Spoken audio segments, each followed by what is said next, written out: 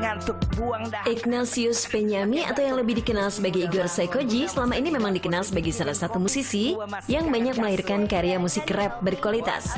Namun prestasi tersebut tampaknya belum membuat pria berusia 34 tahun itu merasa puas. Igor bahkan mengaku memiliki impian untuk bisa membuat gebrakan baru di industri perfilman dan musik tanah air dengan membuat film musikal yang fokus pada musik rap. Karena gue mulai tertarik sama film.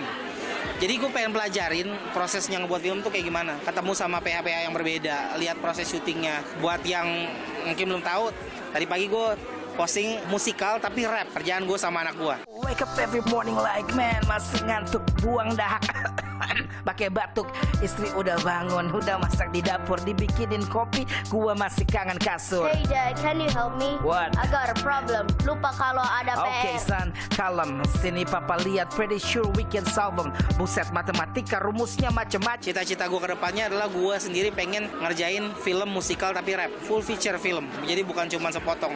Hip hop Ku suka sejak kecil Sejak masih tengil Lalu sejauh ini usaha apa saja yang telah dilakukan oleh Igor untuk dapat segera merealisasikan impiannya tersebut? Gue ngerjain banyak musik untuk film, entah soundtrack atau scoring sambil mempelajari, sambil kenal dengan banyak production house, production house, sutradara-sutradara supaya ada yang bisa gue serap buat ilmu gue sendiri nanti bisa mewujudkan cita-cita gue pengen bikin film hip hop tapi musikal.